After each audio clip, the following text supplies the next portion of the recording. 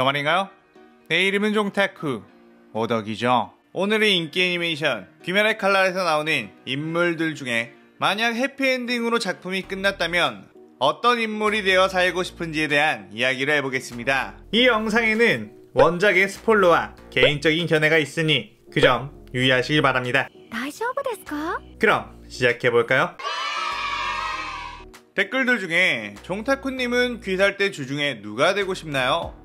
귀살대원이 되면 어떤 혈기랑 싸우고 싶나요? 이런 질문이 있었고 그거에 대해서 생각을 좀 해봤습니다. 저는 일단 혈기가 존재하는 이상 귀살대원이 되고 싶진 않고요. 어떤 호흡을 쓰고 싶냐는 질문에는 쓰고 싶지 않다고 말하고 싶네요. 일단 전 집돌이라서 혈기 잡으러 밖에 나가는 건 너무 삶의 질이 떨어질 것 같아요. 평화롭게 집에서 놀고 먹고 싶습니다. 그래서 만약 김연의 칼날의 모든 인물들이 해피엔딩의 삶을 살았다면 그건 충분히 상상해볼만 하겠죠? 작중 시점에서 혈기와 싸울 일이 사라지고 딱 인물들만 남았을 때 어떤 인물이 되고 싶은지 어떤 인물로 살게 되면 어떤 장점이 있을지 한번 생각해보죠. 여러분들도 들으면서 어떤 인물로 사는 게 가장 행복할 것 같은지 생각해보세요. 일단 작중 시점부터니까 탄지로 같은 경우는 혈귀에게 가족을 잃지 않았다면 그냥 그 산속에서 가족들과 오순도순 살면서 숯을 팔고 다녔겠죠? 아주 행복한 가정이긴 하지만 탄지로의 삶이 확 끌리진 않아요. 왜냐하면 숯쟁이의 삶, 사실상 탄지로가 가장이거든요. 수많은 가족들을 먹여 살려야 하는 책임이 실려 있는 삶이죠. 그렇게 풍족한 삶은 아닌 것으로 보이며 도시에는 이미 열차가 다닐 정도로 근대화가 되었는데 탄지로는 산속에서 나무하고 숯을 내다 파는 꽤나 고전적인 생활 양식을 하고 있기 때문에 문물을 받아들이는 것도 아주 느릴 것 같아요. 이 부분은 네즈코도 마찬가지겠죠. 결혼을 해봤자 인근 마을에 있는 평범한 또래의 이성을 만나 결혼하고 애를 낳고 또 그 아이에게 히노카미 카구라를 전수해주며 살 것 같습니다. 하지만 시점을 바꿔 귀살대에 들어간 이후의 해피엔딩이라면 탄지로의 삶도 나쁘지 않습니다. 일단 카나오가 있죠. 귀엽고 차분한 카나오와 부부가 되어 사는 것은 엄청난 장점입니다. 거기에 탄지로는 인맥도 좋아서 수많은 사람들에게 도움을 주고받고 하면서 살 것이기에 재물복은 많이 없더라도 인복은 아주 엄청나게 많아 보여서 좋아 보입니다. 네즈코 같은 경우는 귀살 때 들어간 이후 해피엔딩이면 제니치랑 결혼을 하는 쪽으로 흘러갈 텐데 사실 제 개인적인 생각이지만 네즈코가 더 아깝습니다. 제니츠도 충분히 매력이 있긴 하지만 뭐랄까 이 세계관에 그렇게 멋있는 남자들이 많은데 굳이 울보와 결혼하는 건 좀 아까워요. 그만큼 네즈코가 압도적으로 귀엽잖아요. 그래서 네즈코가 되고 싶진 않네요. 제니츠 같은 경우는 울고 싶을 때 마음껏 울어도 주변에서 별 뭐라 하지 않는 장점이 있고요. 네즈코 때랑은 반대로 제니츠 입장에선 네즈코랑 결혼할 수 있다는 것만으로도 엄청난 강점을 가졌지만 이왕 누군가가 될 수 있다면 전 좀 더 멋진 캐릭이 되고 싶달까요? 이노스케 같은 경우는 엄청난 미모와 근육질 몸을 가지고 있으며 다소 자기가 하고 싶은 대로 본능적으로 살아갈 수 있습니다. 남의 음식도 막 뺏어먹고 그래도 다들 이해해주는 느낌이 많죠. 또한 아오이와 잘 돼가는 결말로 흘러갈 수 있다는 장점이 있죠. 카나오 같은 경우는 나비 자택에서 가족과도 같은 시노부나 아오이와 아주 가깝게 지낼 수 있고 돈 벌어오는 능력은 좀 부족할 수도 있지만 사람 자체는 정말 좋은 탄지로와 결혼을 할 수 있다는 장점이 있죠. 그리고 거울 보면 졸귀해요. 아침에 일어나서 거울 볼 때마다 자아도취를 할 수 있겠죠. 그 다음 개냐 같은 경우는 음, 꽤나 거친 인상과 큰 키를 가지고 있습니다. 하지만 여자 앞에서는 완전 쑥맥이라 사실상 몇 흘러도 모태솔로 상태가 유지될 수도 있을 것 같아요. 형인 사내미와 꽁냥거릴 수도 없고요. 개냐는 되고 싶지 않네요. 그 다음 염주 랭고크 큐주로입니다. 큐주로 같은 경우는 사실상 강력한 후보 중 한 명입니다. 얼굴도 잘생겼고 키도 적당하고 귀살대 주중에 가장 부잣집으로 볼 수 있는 흔히 말해 명문가의 자제죠. 성격도 완전 좋아서 모든 사람들과 친하게 지낼 수 있고 아빠와 사이가 좀 서먹하긴 하지만 다른 주들은 대부분 아버지가 안 계시죠. 아 이게 패드립 친 건 아니고 작중 시점이면 대부분 부모님이 안 계시더라고요. 쿄주로가 비록 작중에선 썸 타는 여자 캐릭은 없지만 쿄주로 정도면 신주로가 그랬듯이 엄청 예쁘고 현명한 아내를 얻을 수 있을 것 같아요. 그 다음은 수주 토미오카 기우입니다. 기우 같은 경우는 존잘 냉미남이라는 큰 장점이 있고 아웃사이더라서 많은 사람들과 얽히지 않고 살아갈 수 있다는 장점이 있습니다. 다들 아시잖아요. 결국 인간관계에서 상처를 가장 많이 받고 스트레스 받는다는 걸. 기우 같은 경우는 딱히 그런 걸 느끼는 타입이 아니죠. 그리고 신호부와 잘 이어져서 결혼만 한다면 사실상 기우도 우승 후보 중 한 명이죠. 신호부면 의학 지식 엄청난 사람이기 때문에 귀살대 일이 끝났을 때 가장 능력 있는 사람일 겁니다. 평생 신호부랑만 꽁냥꽁냥 티격태격 살아가는 아웃사이더라고 해도 충분히 행복하지 않을까요? 그 다음은 하주 토키토 무이치로입니다. 무이치로 같은 경우는 일단 나이를 먹었을 때 가장 미모 포텐이 터질 것 같은 그런 인물이죠. 거기에 천재 타입이기에 이런 사람은 어떤 걸 하더라도 결국 성공하거든요. 비록 작중에서 이어진 여자 캐릭은 없지만 완전 꽃미남으로 자라고 능력도 넘쳐날 무이치로라면 미래를 보고 가능성을 보고 선택을 걸어볼 만합니다. 그 다음은 풍주 사네미입니다. 사네미 같은 경우는 카나이가 있는 시점이라면 카나이와 잘 될 수 있는 상황이기에 꽤나 선택할 만한 요소가 있는 느낌이지만 카나이가 없는 시점인 작중 시점이라면 선뜻 선택할 만한 큰 장점은 없어 보입니다. 이미 까칠해져 버린 성격과 온몸에 생긴 상처는 다른 인물들이 가진 장점에 비하면 전혀 장점으로 느껴지지 않죠. 그나마 있는 게 개냐인데 개냐랑도 꽤나 서먹해진 상태에서 곧바로 친하게 지내진 못할 것 같네요. 그 다음은 사주 오바나입니다. 오바나이 같은 경우는 진짜 눈 색깔 오드아이인 것은 미친 듯한 간지죠. 와 너무 멋있을 것 같아요. 그런데 선뜻 오바나이를 고를 수가 없는 게 입이 찢어진 상처가 있습니다. 아 참 눈은 초특급 간지인데 입이 좋거면 뭐 지금같이 마스크 쓰고 다니는 상황이면 오바나이가 가장 돋보이는 미모겠지만 마스크를 벗으면 좀 사람들이 무서워할 것 같아요. 하지만 오바나이는 또 미츠리랑 이어질 수 있죠. 미츠리의 식비를 감당하기가 생각보다 엄청 빡세긴 하겠지만 미츠리랑 행복하게 살 수 있어서 나쁘지 않은 삶일 것 같습니다. 그 다음은 충주 신호부입니다. 신호부 같은 경우는 귀살대가 해체되면 가장 능력 있는 사람이죠.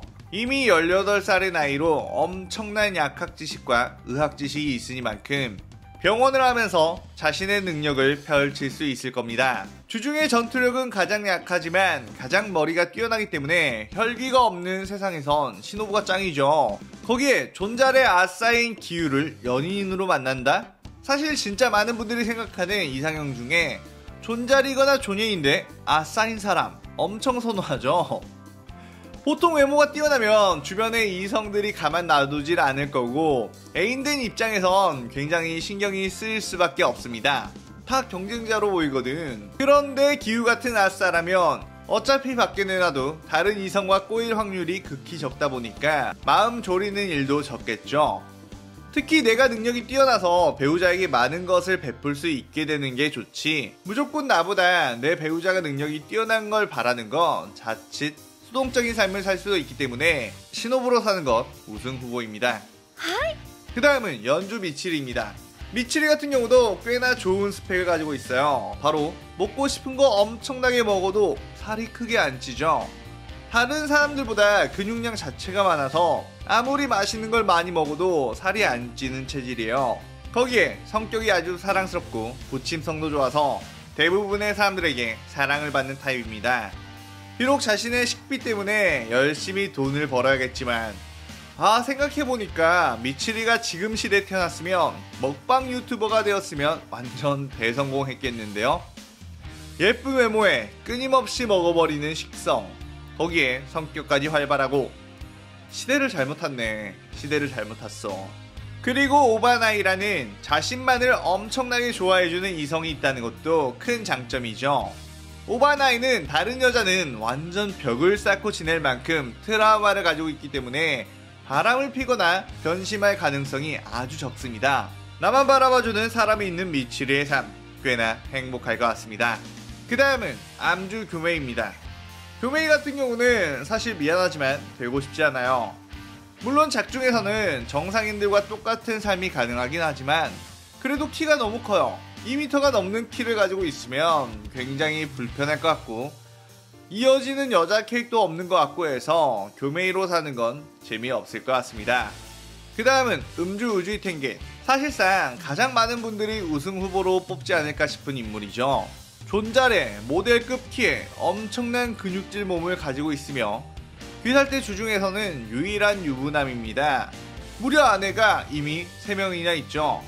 각자 다른 매력을 가지고 있는 미인들이기에 엄청난 인복이라고 생각합니다. 아내가 3명이라는 것이 사회적으로 안 좋은 시선을 받을지도 모르지만 탱겐 같은 경우 자신의 권력이나 재력을 이용해 반강제적으로 여러 명과 결혼 생활을 하는 것이 아닌 아내들이 스스로 원한 결혼이란 점도 엄청난 강점이 있어 보입니다. 하지만 단점이라면 아내가 많다 보니 나중에는 좀 힘들 수도 있을 것 같다는 거?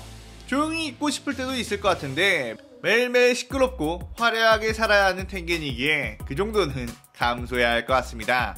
하지만 그래도 역시 명실상부 우승 후보인 것은 변함없죠. 그 다음은 무라타. 무라타가 되면 쉽게 죽진 않고 오래오래 장수할 것으로 예상되는데 딱히 장수한다는 것 말고는 특출난 매력점이 없어 보입니다. 인생 길고 가늘게 사는 것보다 짧고 굵게 사는 게 더 재밌을 것 같다는 개인적인 생각이 있기 때문에 무라타로 살아가는 건 제 타입이 아니네요. 그 다음은 아오이. 아오이 같은 경우는 이제 귀살대가 해체되면 간호사로 살겠죠? 아시다시피 간호사 일이 엄청 빡셉니다. 거기에 좌충우돌 단순 무식한 이노스케와 이어지게 되죠. 이노스케를 배우자로 삼으면 좀 걱정이 많이 될 것 같아요. 얘가 어디 가서 사고는 치지 않을까? 어디에 민폐 끼치고 있진 않을까? 이런 부분에서 아오이는 별로 선호하지 않습니다. 그 다음은 카나에. 카나에 같은 경우 도마에게 살해당하지 않았다면 거의 세계관 최고의 미인 중 한 명이기에 많은 남자들에게 사랑을 받으며 살아갈 수 있고 귀여운 여동생들과 행복하게 지낼 수 있다는 점이 있습니다. 그리고 사내미랑 이어질 수도 있기 때문에 사내미를 좋아하는 팬분들은 카나에가 되는 것도 좋은 선택이라고 생각되네요. 그 다음 혈기로 넘어갈 텐데 혈기들은 대부분 인간 시절에 범죄자거나 참혹한 일들을 겪기 때문에 그나마 정상적으로 살아갈 수 있는 인물만 뽑겠습니다. 우선 다키입니다. 다키가 인간들에게 불태워지지 않았을 때로 간다면 엄청난 미모를 가진 사람으로 살아갈 수 있게 됩니다. 자신을 지켜주는 든든한 오빠도 있고요. 하지만 아무래도 직업이 육아계에서 일하는 유녀이기 때문에 그런 삶을 사는 건 아무리 아름다운 외모를 가지고 있더라도 제 적성에는 안 맞을 것 같아요. 제가 술을 잘 못 마시고 안 좋아하거든요. 그 다음은 도우마입니다. 도우마 같은 경우는 혈기가 되기 전이라고 치며 사이비 교주죠. 도우마 같은 경우는 존잘의 키도 크고 사이비 교주라서 돈도 어마무시하게 많으며 많은 사람들에게 추앙받는 삶을 살 수 있습니다. 약간 관종들에게는 꽤나 좋은 선택지라고 생각을 해요. 물론 저도 끌리긴 합니다. 하지만 언제 사기죄로 끌려갈지 모르는 삶이라 좀 불안하긴 할 것 같아요. 그 다음은 코쿠시보입니다. 코코시보는 혈기가 되기 전으로 돌아간다면 아내도 있고 자식도 있었는데 뼈대 있는 무사 집안이었고 완전 검술에 빠져있는 사람이기 때문에 주구장창 단련을 해야겠죠. 그리고 평생 열등감을 가지고 살아야 해서 음 완전 별로인 삶일 것 같습니다. 그 다음은 아카자입니다. 아카자가 만약 코유키가 독약으로 죽지 않았다면 그 시점으로 간다면 꽤나 괜찮은 삶이라고 생각됩니다. 코유키 집안의 도장을 물려받게 되어 막 생활이 힘들 것도 없고 코유키라는 참한 아내를 얻을 수 있으니까 말이죠. 그렇게 되면 다소 평범하고 단란한 삶을 살 수 있을 것 같네요. 등장인물들이 많다 보니 모두를 하기엔 좀 그렇고요. 빼먹은 인물 중에도 괜찮은 삶이 있었을 것 같다고 생각하는 인물은 댓글로 써주시길 바랍니다. 저 같은 경우는 염주 표주의 삶이나 충주 신호부의 삶, 음주 탱겐의 삶이 그나마 끌리는 것 같습니다.